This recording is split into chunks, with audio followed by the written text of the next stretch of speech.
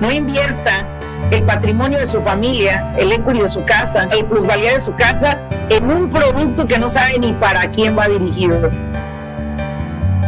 Bienvenido al podcast de Get It Motion Entrepreneurs, un espacio para el desarrollo de pequeños negocios. En este programa podrás encontrar lo que tu negocio necesita. Queremos apoyarte a que triunfes en tu negocio. Encuentra los recursos y herramientas para estar siempre en crecimiento. Iniciamos Get It Motion Entrepreneurs. Entonces, tenemos a la campeona Laurelena Martínez, que tengo una pregunta muy interesante para ti, Laura, porque a veces suele ser un relajo aquí con los emprendedores. ¿Cuándo es el momento ideal para dejar mi trabajo y empezar mi propio negocio? Bueno, esa es una pregunta que todas las personas soñaran, que algún día una voz interna llegara a medianoche y les diera ese mensaje, pero no va a pasar. Levántense con el café. Bueno, te explico, Armando. ¿Cómo saber en qué momento o cuál es el momento ideal para dejar mi trabajo y emprender mi negocio? Primero que nada, uno de, uno de los sueños americanos que tenemos eh, aquí, los hispanos en Estados Unidos, es emprender nuestro propio negocio. Es no depender de un jefe, no depender de una empresa, no depender de horarios, manejar nuestros horarios, nuestras agendas, poder saber a qué horas podemos trabajar, a qué, a qué horas no. Este es un sueño efímero, totalmente efímero, no existe. Emprender un negocio requiere de muchas otras cosas. Por eso es muy importante antes de dar ese paso, de decir adiós a mi trabajo actual, emprender mi negocio, se requiere toda una preparación. Muchas personas dicen, basado en un libro que es Mata tu vaca, ¿sí? Realísticamente yo no los invito a que hagan honor a ese libro de un día para otro de maté mi vaca y sufrí tres años, pero ahora eh, me está yendo bien.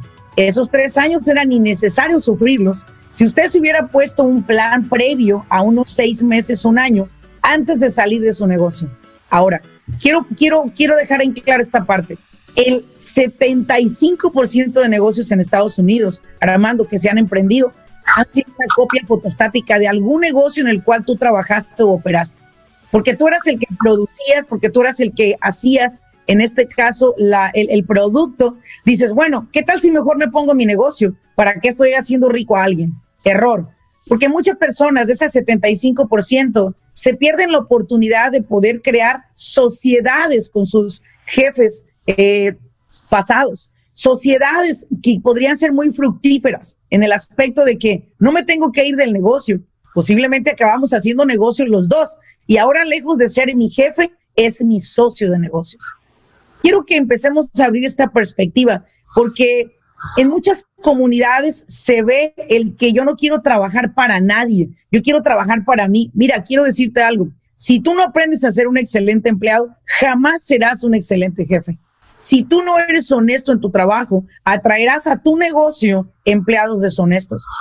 es muy importante que nosotros operemos con estos puntos. Antes de emprender un negocio, sí nos podemos preparar.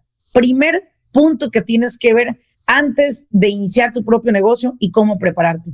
Primero que nada, tienes que identificar qué producto vas a ofrecer. Muchas personas están buscando en un sueño de no sé en qué cuento de hadas que les han dicho que oh, yo voy a abrir un negocio, eh, es parecido al de enfrente, pero no es igual. Voy a vender también yogur como el de enfrente, pero mi yogur va a ser diferente, mis toppings van a ser diferentes. Mira, no te inventes que va a ser diferente. Yogur es yogur. Lo único que vas a cambiar quizás es la manera, la cultura de llegar a tu clientela. Ahora pasemos a una pausa comercial. Somos Get It Notion Entrepreneurs, una organización sin fines de lucro en California. Nuestra misión es mejorar las oportunidades económicas en las comunidades latinas a través del emprendimiento.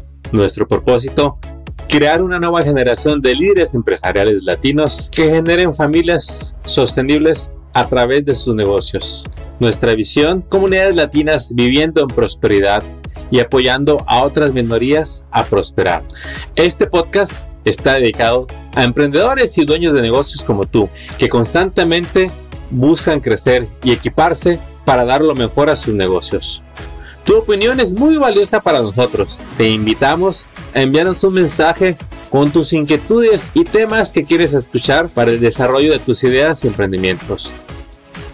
envíanos un texto, voz o video al WhatsApp 760-237-0284. También nos puedes enviar un correo electrónico a podcast.getitmotion.org o visita nuestra página de contacto donde podrás enviarnos tus mensajes en nuestro sitio getitmotion.org.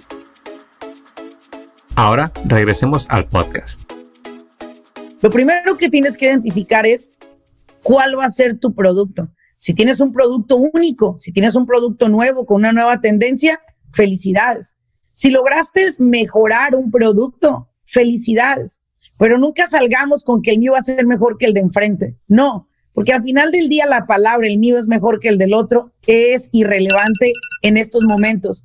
¿Y por qué es irrelevante? Te voy a explicar porque hoy en día necesitamos reconocer que todos hacemos nuestro mejor esfuerzo para que nuestro producto le sirva a otros. Lejos de ser el mejor, que hay gente que se lleva toda una vida cansada, agotada, fastidiado en querer ser mejor que otros. Y mejor decir, ¿sabes qué? Yo voy a buscar mi nicho de personas, que ese es el punto número dos. Primero, identifico mi producto. Segundo, identifico el nicho de personas. Quiere decir, ¿Cuáles van a ser mis, el tipo de cliente modelo que yo busco? Mi producto. Puedo decirte que es para todos o puedo decir, ¿sabes qué? No. En este caso, mi producto de escuela de negocio es exclusivamente para dueños de negocio que están manejando empresas con ingresos de cierta cantidad de ingresos arriba. Quiere decir que tienen empleados, que manejan otro tipo de responsabilidades y mi curso está diseñado para ellos. Si yo tengo un negocio de contabilidad, yo puedo identificar si quiero enfocarme en el nicho de contabilidad para compañías refresqueras, por ejemplo, o quiero enfocarme solamente en personas que se dedican a la mecánica. Pueden ser solo mecánicos a los que yo les hago la contabilidad y me especializo tanto en clasificarle sus impuestos que, bueno, acaba siendo por el mejor contador de mecánicos. Sin embargo, hoy en día queremos hacer de todo y eso nos está frustrando. Estamos viendo la cabeza llena de cosas sin especialización alguna. Punto número uno, me regreso, identifica el nicho de personas. Número dos, y bien importante, muy importante, identificar tu producto. Creo que me volteé aquí. El uno es el producto, el dos es el nicho de personas al que le vas a beneficiar con tu producto.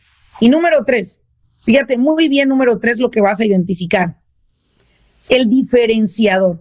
Ese diferenciador que yo honro tanto cuando yo tengo una empresa y digo, ok, ¿cómo voy a hacer mi producto no mejor que otros? Yo no quiero ser mejor que otros. La palabra mejor es sustituida por algunas otras que la superan.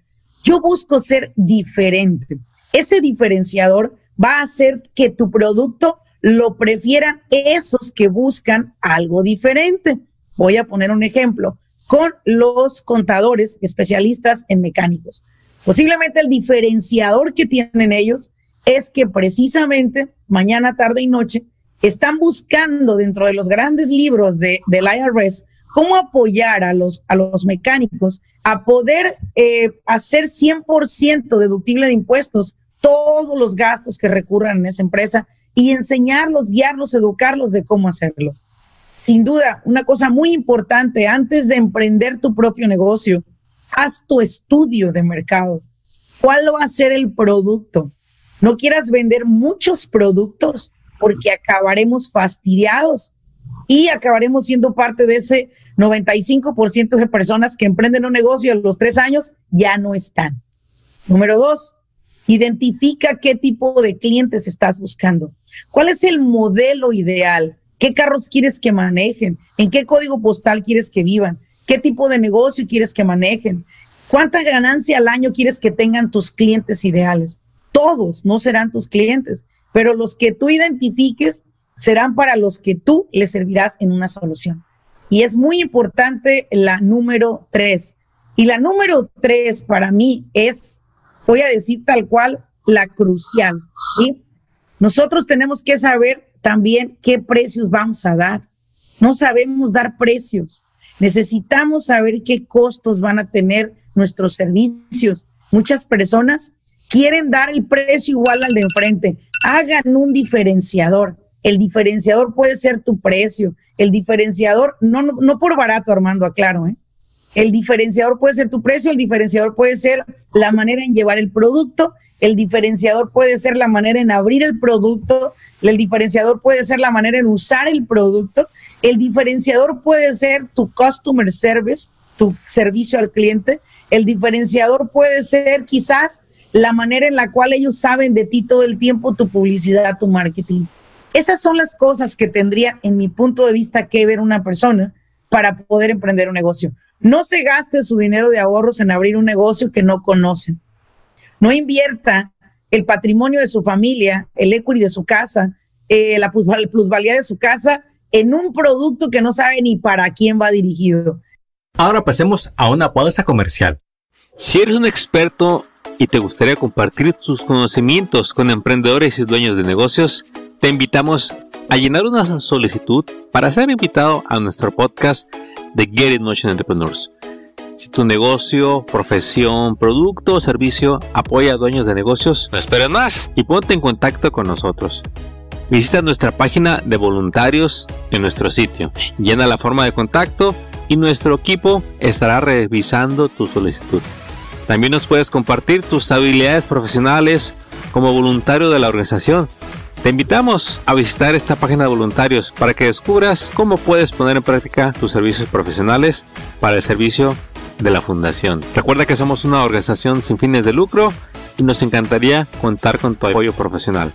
Visita nuestra página de voluntarios getinmotion.org diagonal voluntarios. Una vez más, getinmotion.org diagonal voluntarios. Ahora regresemos al podcast. Señoras, señores, ya no tenemos tiempo de jugar a las muñequitas y de calarles si esto nos va a ir bien o no. Tenemos hijos, llevamos pasajeros en los autobuses. Esos autobuses son familias, Armando. Hoy en día no sabemos ni a dónde vamos y los chiquillos van atrás de nosotros diciéndonos, ¿a dónde vamos, papá, mamá? No se preocupen, hijos, a un lugar seguro. La verdad es que no tenemos ni idea a dónde vamos. Ese sería mi punto para alguien que quiere emprender un negocio asertivo porque hoy en día no hay tiempo de, perder el tiempo, hermano. Espero que esto les apoye. A usted que nos acaba de escuchar, le resumo. La pregunta fue, ¿cuál es el mejor momento para dejar tu trabajo y empezar tu negocio? Y pues bueno, le resumo todo las, todas las joyas que nos acaba de dar Laura. Laura nos dice, no quema las barcas así nomás porque sí. No seas imprudente con tu patrimonio, no lo pongas en riesgo. Planealo, planealo, porque te vas a sorprender de saber que el 75% de, de, los negocios que hoy existen son copias. Nadie reinventó la rueda. Usted no lo haga, no hay necesidad. Aprenda algo que se llama crear sociedad, incluso con su jefe. Sí. Si hoy lo es posible, es posible. La Aurelena se lo dice. Y pues bueno, tres puntos básicos para cuando vaya a iniciar su negocio. Seleccione el producto o servicio Dos, selecciona el nicho. El que le vende a todos, le vende a nadie. Y sus ventas nunca van a llegar. Y número tres, el diferenciador. Y aquí es donde su creatividad se va a desarrollar. Totalmente. No tiene que gastar miles para ser diferente. Nada más tiene que quizás acomodar las cosas diferente y ya va a ser diferente. Laura Elena, ¿qué le puede decir a ese emprendedor que está para acá, para allá, para acá, para allá, trabajo, empleo y, y que ya se está volviendo loco? ¿Cuál es el primer paso que debe de dar para tranquilizarse? Primer paso, tiene que crear su business plan, un plan estratégico de negocio. Así es como yo lo llamo. Mi plan estratégico de negocio dentro de Escuela de Negocio, que es mi curso, es muy diferente a los otros, a los otros planes de negocio. ¿Por qué? Porque aquí hacemos un plan a 3, 6 y 12 meses para su negocio en cuestión financiera, organización de equipos, y importante, administración de dinero. Una cosa es lo que cobro y otra cosa es lo que hago con lo que cobro. Número cuatro, un plan de marketing. Un target a 3, 6, 12 meses. El tipo de gente que atraigo a mi negocio. Y muy importante, deben de tener un plan de vida familiar. ¿A dónde lleva ese negocio la familia? Tener valores identificados de por qué estamos haciendo lo que estamos haciendo. El plan estratégico que tenemos en Escuela de Negocio, eh, mi querido Armando, es un plan que tiene una dirección, tiene un código postal a donde va a llegar, tiene una dirección física donde va a llegar, no es nomás, pues ya lo hicimos, ya lo escribimos y hay que Dios nos bendiga y hay que Dios nos ayude. Dios lo va a ayudar sin duda y cualquiera que sea su creencia, pero es muy importante que nosotros hagamos un plan estratégico, Armando, plan estratégico de negocio y vida. Y si usted nunca había escuchado acerca de un plan de negocios, no se preocupe, puede aprender, aprender con Laurelena Martínez y la Escuela de Negocios y puede aprender en muchos otros sitios si usted se lo propone. Es cuestión de que se siga comprometiendo con su negocio y descubra las bondades que es tener un plan de negocios. Un plan de negocios le va a cambiar la actitud de decir, ya me llegó el lunes y no acabé esto.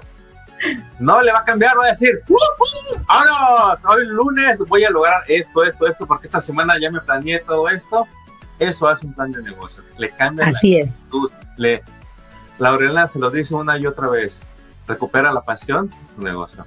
Laurela, muchas gracias. Aquí le vamos a dejar la información de en dónde te pueden ver, en dónde te pueden este, agarrar información de tus cursos que das en vivo, que tienes online. Pues porque queremos que usted que es emprendedor se conecte con la fuente para expandir su negocio al máximo. Laurelena, muchísimas gracias. Te deseamos todo el éxito para esta semana. Gracias, Armando. Igualmente para ti. Hasta luego. Acabas de escuchar el podcast de Get in Motion Entrepreneurs. Visita nuestra página para descubrir más recursos para tu negocio. Síguenos en las redes y suscríbete al newsletter del podcast. Visita getinmotion.org.